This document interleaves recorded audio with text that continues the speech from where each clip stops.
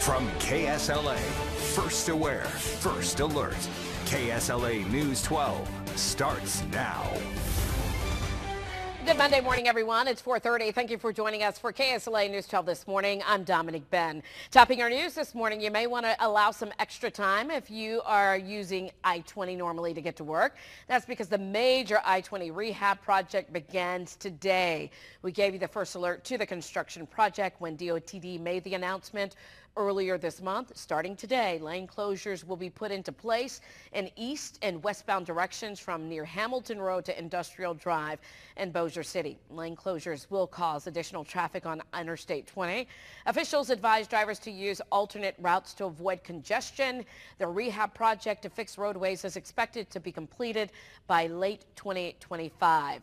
First Alert meteorologist Matt Jones joins me this morning. And Matt, I ran into that construction project early this morning on the first day. Yeah, and we're going to be dealing with this for the next two years. Oh, goody. Yep.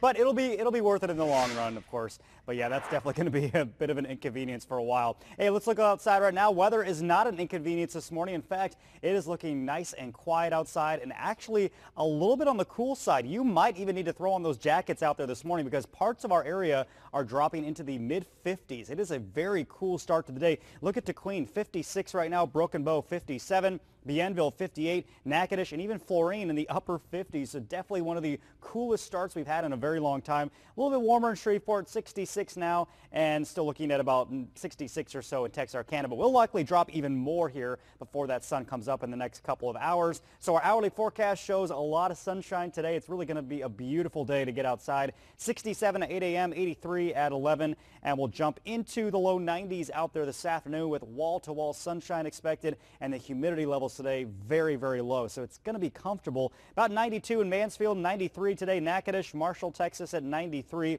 and Texarkana right around 90. And as I mentioned, for the next several days, the humidity extremely low. So get outside and enjoy this weather. But eventually the humidity levels will increase and we will even see maybe some storm chances later in the week. I'll talk more about that in just a bit.